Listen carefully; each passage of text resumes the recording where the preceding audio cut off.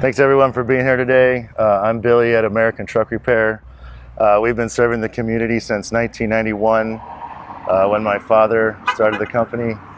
Um, we work on a variety of heavy duty trucks, motorhomes, and all trailer types. Uh, if, if it's not listed, call us. Maybe we can be able to provide a solution for your problem. We're really glad to be a part of the community. If you need to get in contact with us, our phone number is 870-424-4567. Uh, we have an email address, we have Facebook, we have a website, Yelp, and Google. All can help you get in touch with us. And we're excited to announce that we've partnered with Penske to provide rental trucks.